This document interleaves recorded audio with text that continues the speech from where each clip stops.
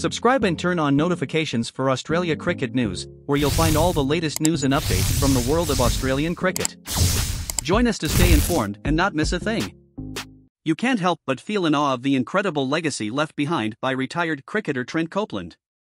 His impressive 13 year career in top class sport was filled with top level achievements, making him one of the most respected and decorated players of his generation.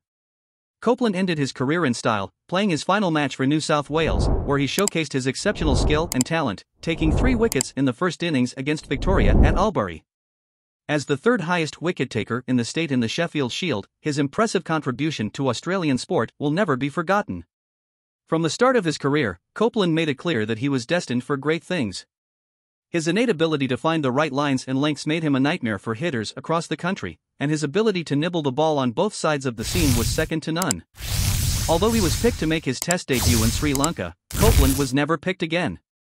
But that didn't stop him from becoming a mainstay of the NSW attack, helping to win the Shield in 2013 14 and appearing in four finals overall.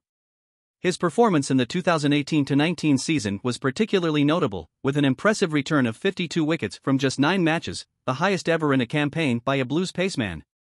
And he was even more successful in his 29 List A appearances, helping NSW clinch the domestic One Day Cup competition in 2016.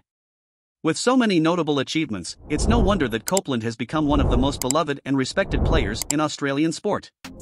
And although he has retired from the court, his legacy will continue to inspire players and fans for years to come.